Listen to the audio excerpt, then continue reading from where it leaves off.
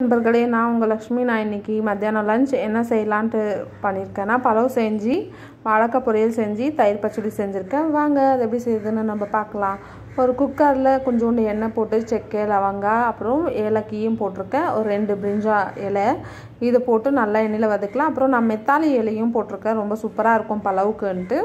அந்த பலவு ஹெ- இது போட்டிருக்கேன் மெத்தாலி இலை.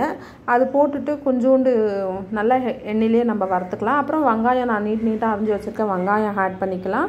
வெங்காயம் ஆட் பண்ணிவிட்டு நல்லா அது ரெட் ஷேட் வர வரைக்கும் நல்லா நம்ம வதக்கணும். வதக்கி ஆயிட்ட பின்னால் அப்புறமா இஞ்சி பூண்டு பேஸ்ட் ஆட் பண்ணிக்கலாம். ஆட் பண்ணிட்ட பின்னால் தக்காளி ஆட் பண்ணிக்கலாம்.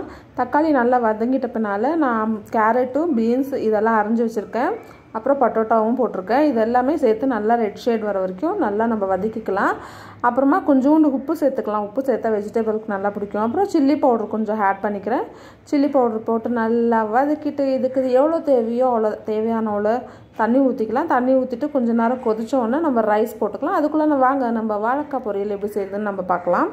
கொஞ்சோண்டு பாண்டியில் எண்ணெய் ஊற்றி கொஞ்சோண்டு கடுகு சீரகம் போட்டு வெங்காயம் பூண்டு கருவேப்பிலை போட்டு ரெட் ஷேடு வரைக்கும் வர- வர வரைக்கும் நல்லா வதக்கிக்கலாம்.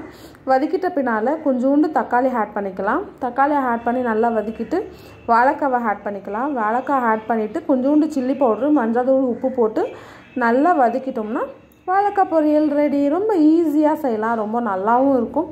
கூட வேணாலும் இது சைடிஷாக வச்சு நம்ம சாப்பிட்லாம். ரொம்ப சூப்பராக இருக்கும். வாங்க சாப்பிட்லாம். இன்னைக்கோட மத்தியானம் லஞ்ச் இதுதான் என்னோட சேனல் நீங்கள் ஃபஸ்ட் டைம் பார்க்குற மாதிரி இருந்தால் சப்ஸ்கிரைப் பண்ணி பெல் ஐக்கன் கொடுங்க. பாய்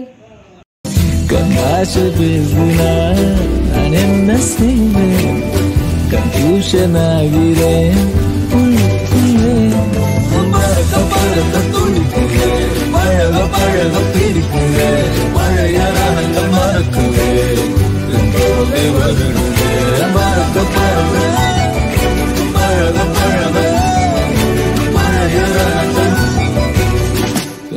தோகை வருடு.